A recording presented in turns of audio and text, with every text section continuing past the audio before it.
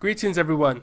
Okay friends, today I want to address a topic that I've covered before, um, probably on multiple occasions, but I haven't covered it from this angle before and I really want to address this topic because of some recent experiences. And these recent experiences is based upon discussions that I've had with people um, over YouTube on certain videos that have been posted where I've left comments and I really want to make sure that this is understood because it has it, it is caused so much effect that many people today even up to this moment in time are still affected from it. Now the people that I've actually spoken to about this subject has really had a lot of biases based upon um, the existence of God, but more so after taking real and slow time just to see where they're coming from, I've come to understand that their real issue is about the morality of God or the character of God. And the doctrine that has triggered this, which is the doctrine that I want to now talk about in this video, is the subject of eternity in hell.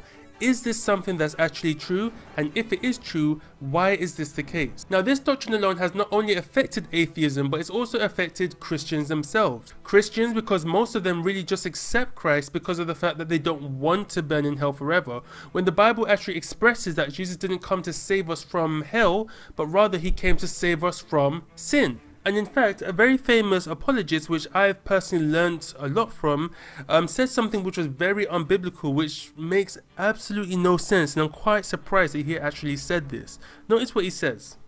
Secondly, a punishment for sin against an eternal being may require an eternal punishment now this is one of many other statements I've heard, but what's even more striking is not only um, hearing the beliefs of people, but I even watched this man right here. He was talking about his testimony of him being taken to hell, where he saw the wicked actually burn up, their flesh was completely um, disintegrated, even all the way to their bones. And what's even more sinister is the fact that he saw their flesh grow back and then all started burning again, a continual process that was taking place for all eternity. People are, are their flesh burns. They burn, they burn, they burn, and the flesh falls.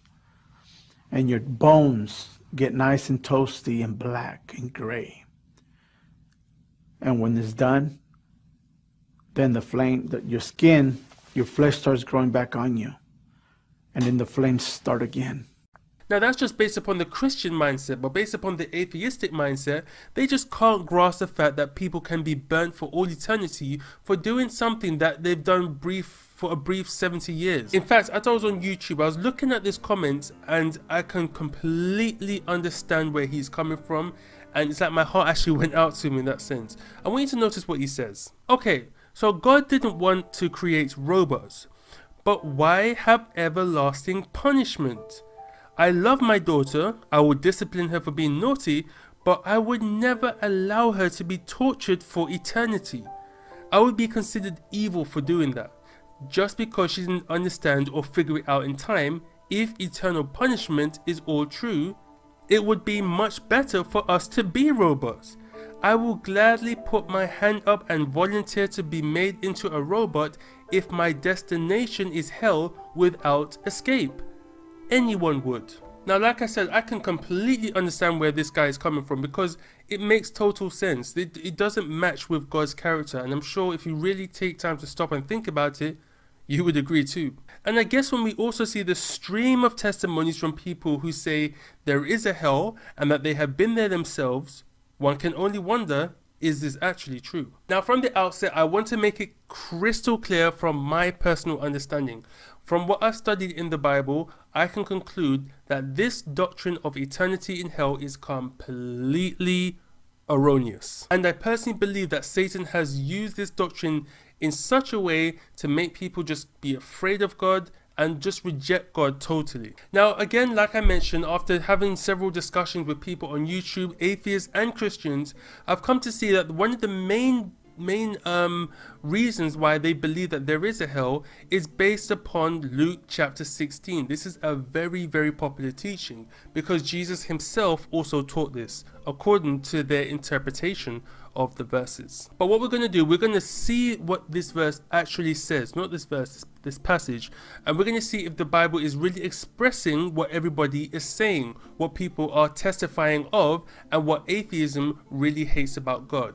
Let's now go into Luke chapter 16 and we're going to see exactly what it says. There was a certain rich man which was clothed in purple and fine linen and fared sumptuously every day. And there was a certain beggar named Lazarus, which was laid at his gate full of sores, and desiring to be fed with the crumbs which fell from the rich man's table. Moreover, the dogs came and licked his sores. And it came to pass that the beggar died, and was carried by the angels into Abraham's bosom. The rich man also died and was buried.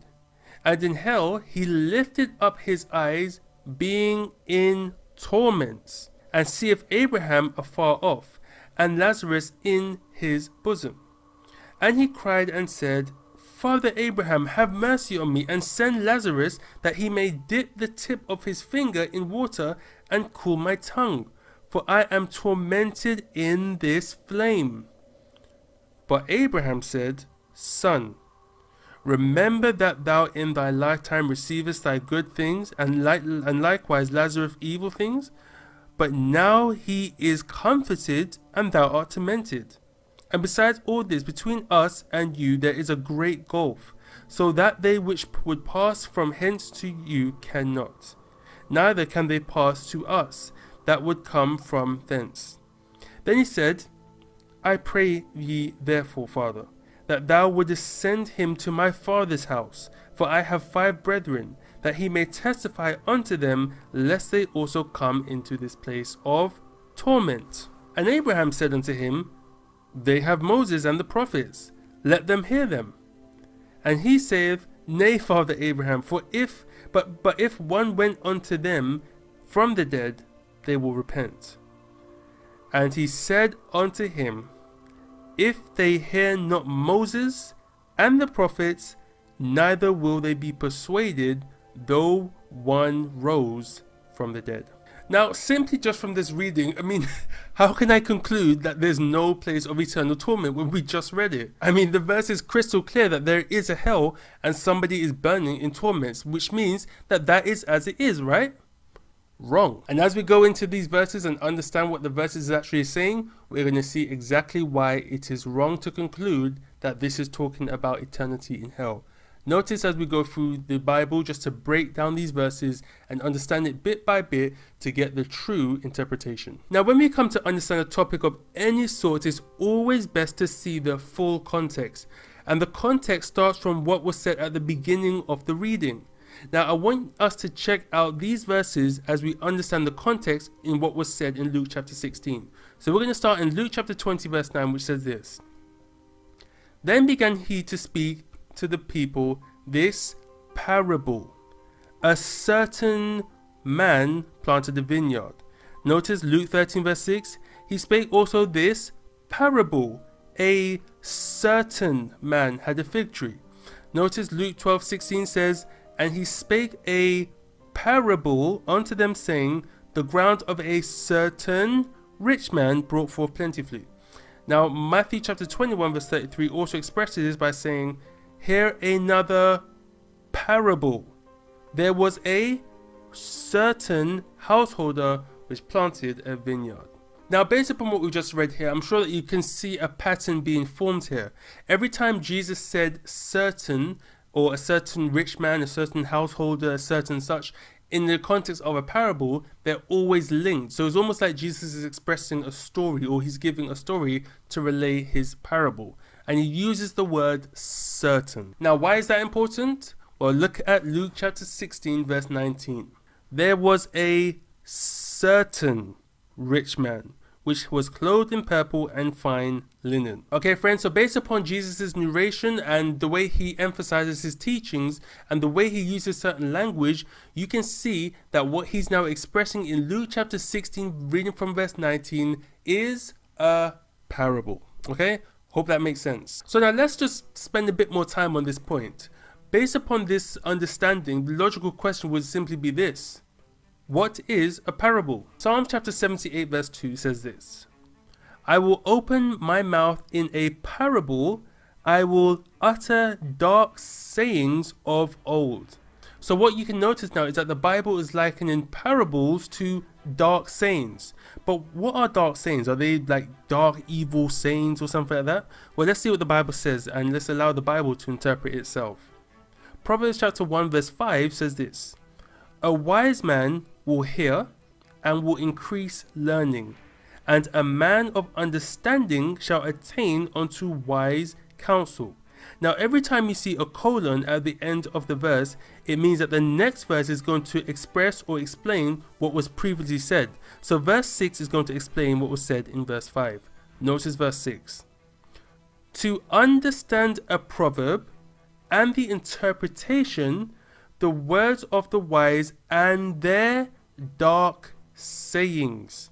Now, we just saw that dark sayings was found in Psalm chapter 78, verse 2, and based upon what we now understand in Proverbs chapter 1, verse 5 and 6, we understand that the parables are linked with understanding a lesson which requires interpretation which can only be understood by the wise. And so, with this understanding, we can also conclude that a parable is not a doctrine, but rather the parable relays the lesson and the lesson is the doctrine. All right, I hope that also makes sense. Matthew chapter 13, verse 10 also says, And the disciples came and said unto him, Why speakest thou unto them in parables? And he answered and saith unto them, Because it is given unto you to know the mysteries of the kingdom of heaven, but to them it is not given. Verse 13 says, Therefore speak I to them in parables, because they seeing not, and hearing they hear not, neither do they understand. Now that makes sense based upon why the parables are called dark sayings, because unless you, it's like if you don't understand, you're going to be in darkness. Now before we continue, notice how Ezekiel puts it in Ezekiel chapter 17 verse 2. Son of man, put forth a riddle and speak a parable unto the house of Israel. So, so far, friends, what we can conclude is that if you're concluding that a parable is a doctrine, you prove that you're not wise. Why? Because what we've seen here, when Jesus expressed a parable, it wasn't a doctrine, but rather it was a lesson to reveal the mysteries of the kingdom of heaven. Okay, so friends, with this understanding, the question that must be asked is this. In Luke chapter 16, what is this parable actually talking about? Is it talking about somebody burning in hell for eternity? Was that the lesson? Well, I want to just summarize it for just just for time's sake. I want to summarize what Luke chapter 16 verse 19 to 31 is actually expressing. Now, the parable in Luke chapter 16, from my understanding, it reminds me of um, the rich young ruler and also the parable of the woman who gave everything she had in the temple, while there are many people who are rich giving many, many coins into the temple but this woman gave all she had. Now, with the rich young ruler, he had goods, but he sought to seek his own salvation without regards for those who were suffering around him. But the, the, the, man in Luke chapter 16, the rich man, he held this kind of position, you could say. He had a status. He, he was regarded in himself as somebody great because he was rich and he had Abraham as his bloodline, you could say. But the poor man ended up receiving salvation because even though he was poor, he still committed his life to God, even in his poor condition. And that reminds me of the parable of the woman who gave all that she had. Though she was poor, she committed her life to God. And Jesus Christ said about that woman that she gave more than all the rich people had given. And so, what that teaches essentially for us today is that we may think that because we um, have more truth than someone else because we wear the best clothes or because we do this, that, and the other, we think that because of that we are better than everybody else. And the root of that kind of mindset is based upon confidence in self. But the Bible has expressed many times that those who have confidence or who uplift themselves will be abased. In other words, your confidence in your own self and in your own possessions, in your own um, whatever's around you, which you kind of class yourself as being great amongst yourself, that is the cause of your own downfall. And I like the way that Jesus expresses this in Matthew chapter 21 because it makes us realize that, wow, actually, there's people that's going to go ahead of us, which we may think that will never end up in heaven. And that's because of our own self confidence. Notice what Jesus says Jesus saith unto them, Verily I say unto you, that the publicans and the harlots go into the kingdom of God before you. Verse 32 says, For John came, John the Baptist, John came unto you in the way of righteousness, and ye believed him not. But the publicans and the harlots believed him. And ye, when ye had seen it, repented not afterwards, that ye might believe him. Paul also expresses this even more by saying this in Romans chapter 12, verse 3. For by the grace given to me, I say to everyone among you, not to think of himself more highly than he ought to think, but to think with sober judgment, each according to the measure of faith that God has assigned. Okay, friends, so I hope that that's made very clear sense. Confidence in yourself, confidence in where you came from, and confidence in what you have could be the downfall if you think that these are the things that or the means that will make sure or guarantee your status in heaven. God is looking on the heart rather than the outward. But now here's a question. Why would Jesus use such a parable if it wasn't true?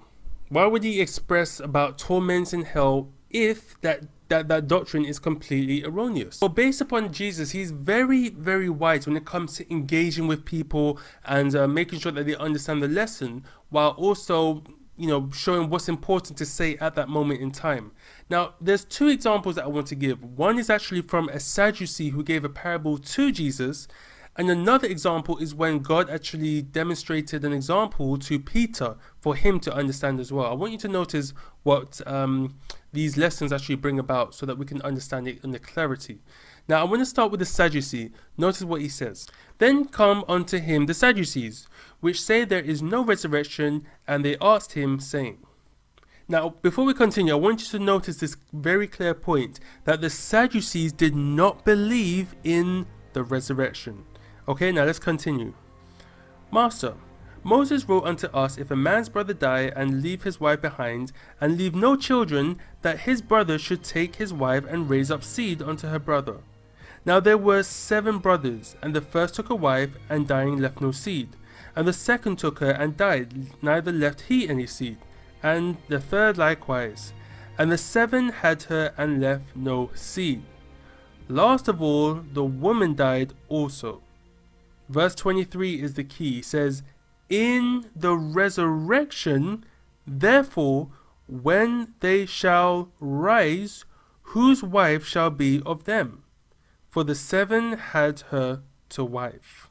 Now, wait a minute he didn't believe in the resurrection, but for some reason he's using the resurrection in his parable to Jesus. Now, why was the Sadducee doing that? Because we saw clearly that he didn't believe in the resurrection. Well, what he was doing is he was using the common belief that Jesus believed, and he knew that if he wanted to relay his message, he had to kind of do things in a way in order for him to understand what he was saying. It didn't mean that he believed the resurrection, but he was using that to his advantage so that he can bring out his own agenda whatever that agenda was. Okay, friends, so I, am sure you can see that principle. I hope you can see it. Um, if it doesn't make sense, please leave a comment in the description. I'll probably write it up. But I want to use um, Acts chapter 10 to um, further illustrate the point. Now, this is God using a principle or using a circumstance towards Peter. Notice this. Acts chapter 10 verse 9 says, On the morrow, as they went on their journey and drew nigh unto the city, Peter went up upon the housetop to pray about the sixth hour. Now notice this in verse 10. This is very important to hold on to or to understand this detail. It says, And he became very hungry and would have eaten, but while they made ready, he fell into a trance. Now notice after understanding that Peter was very hungry, notice how God uses some principles here. Verse 11 says, And saw heaven open, now he's in he's, in a trance right now. And he says, and he saw heaven open and a certain vessel descending upon him, as it had been a great um, sheet knit at at the four corners and let down to the earth. Verse 12 says, wherein were all manner of four-footed beasts of the earth, and wild beasts, and creeping things, and fowls of the air.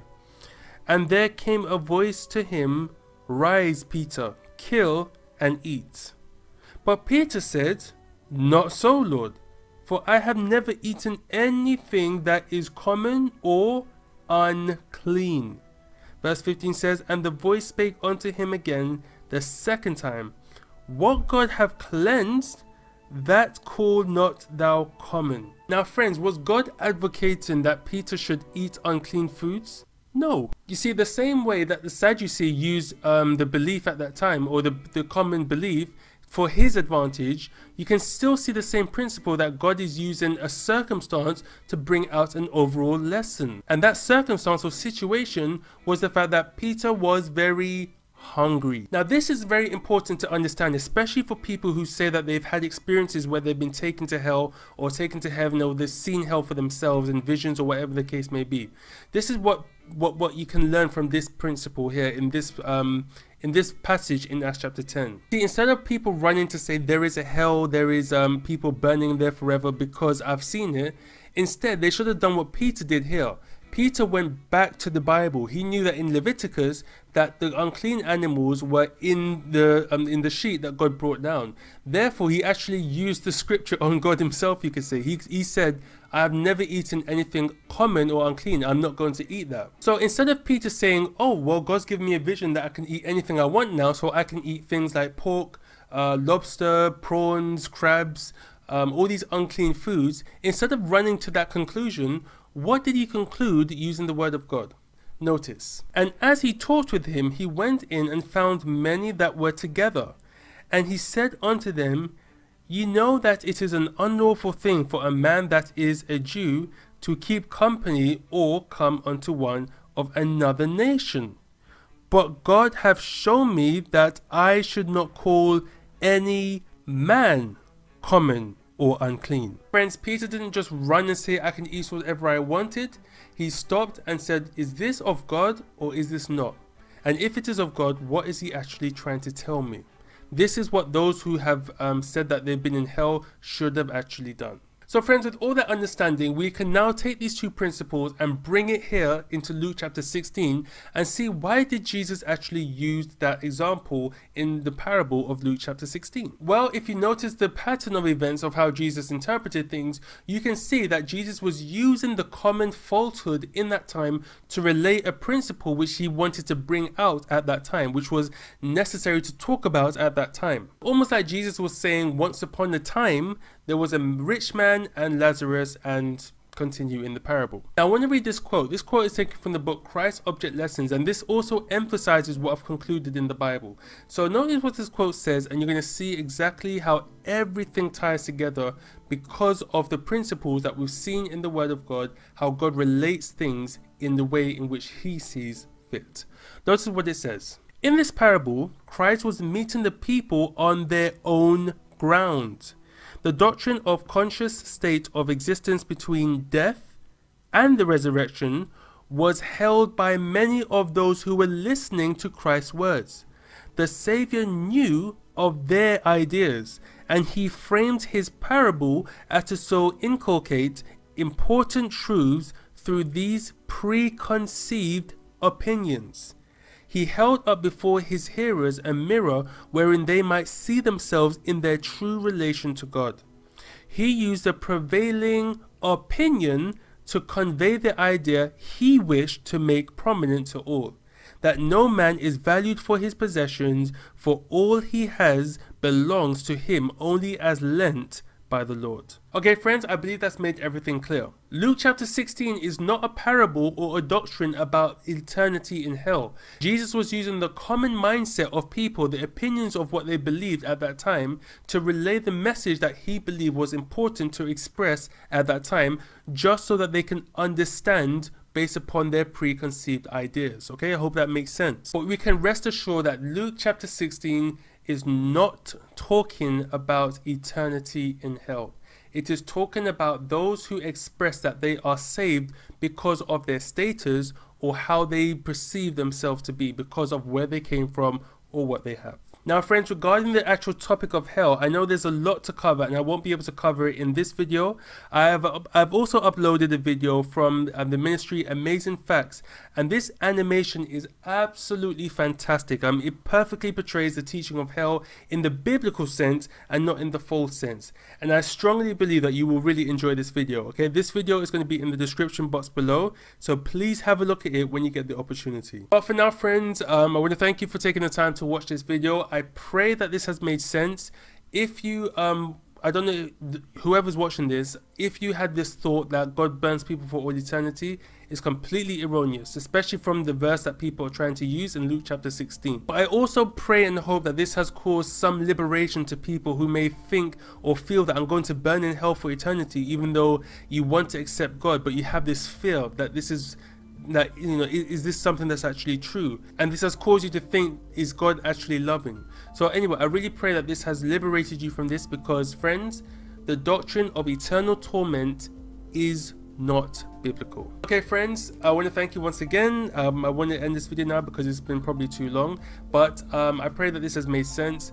And friends, if you have any questions or comments, please leave it in the comments box below because I know this is a very big subject. So just leave your comments and we can um, discuss, we can reason together, and by God's grace, we'll all come to the point of truth because it is only the truth that will set us free. Alright, thank you once again. God bless you all, and I will see you in the next video. Take care. Bye for now.